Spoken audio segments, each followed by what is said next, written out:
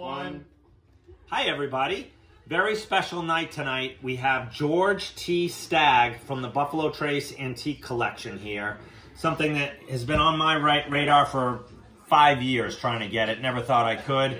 My good buddy Riley got it for us. Thank you very much. We're all going to try it now. We're not going to, you know, resell it or leave it on the shelf and let it collect dust. We're going to enjoy it the way it's meant to be enjoyed. It's 135 proof. Um, like I said, it's from Buffalo Trace. It's widely considered one of the best bourbons you can get, and tonight we're going to find out if that's true. So, uh, let's see here. All right, pause for cork pop. Ready? All right. It is. Very excited about this. Again, 135 proof, you know, one of the very high proof bourbons that you can try. Uh, there you go, Bill. Thank you.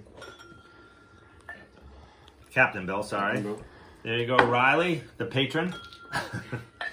Freeloaders. Now we'll get to the freeloaders. Da- Director Dave, who's like, uh, he's taking a day off today. Director Dave. DD. He's a man. First mate, Jeff.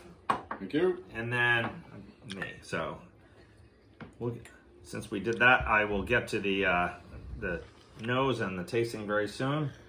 Let's see. Ooh, Fruity. yeah. You, I mean, the, you know, very high proof right off the bat, but a lot of complex aromas. Citrus. A lot of brown sugar. Brown sugar. Um, some some other baking spices too, like maybe some a little vanilla, some caramel.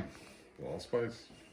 Ah, a lot of stuff in there, and again, and, and a high alcohol content. We'll we'll see uh, see how that Kentucky hug goes. Ready? Cheers to your health.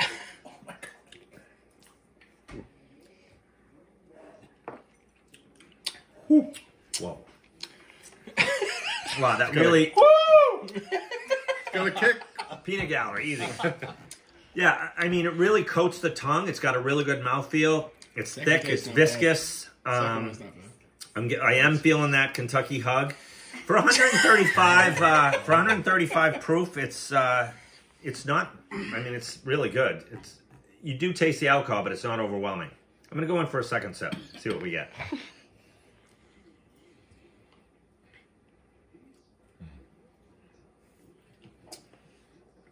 Mm. That's good. It's got a long finish. Even the first sip is. I could still feel the first sip when I was taking the second sip. Second sip is way better. Yeah, I think it's 15, 15 years old, 15 years, four months or something. It's not bad. So you do taste a little oak, but it's not oaky at all. It's uh, just gives it a balance. It's very balanced, complex flavor.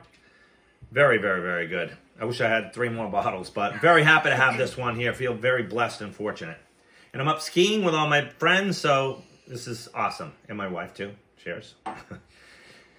Anyways, uh, anything else?